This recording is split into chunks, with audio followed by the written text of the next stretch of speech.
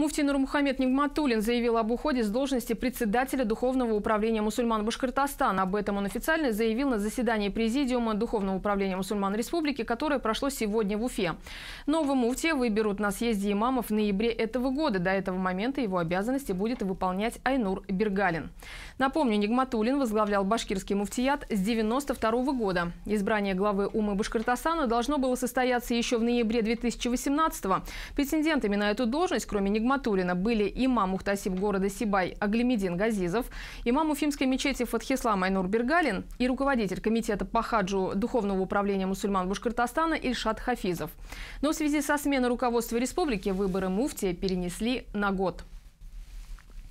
Сегодня по инициативе председателя Духовного управления мусульман Республики Башкортостан муфтия Нигматуллина Нурмахамад Хадрата состоялось заседание членов Президиума ДумРБ Э, на повестке дня стоял вопрос о сложении полномочий действующего муфтия. Таким образом, Нурмухаммад Хазрат добровольно, э, без всякого давления либо внутреннего, либо внешнего, сложил в себя полномочия председателя Духовного управления мусульман Республики Башкортостан.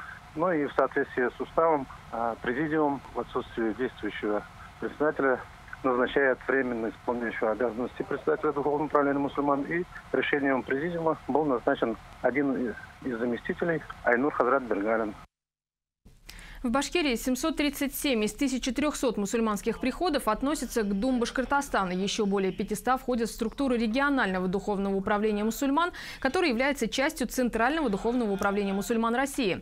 Согласно уставу Дум Республики, муфтием может стать человек, поработавший на руководящей должности в религиозной организации более 10 лет.